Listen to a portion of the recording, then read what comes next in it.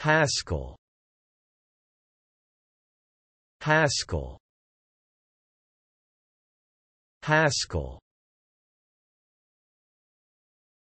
Thanks for watching this video. Be sure to subscribe to our channel to get more free learning resources.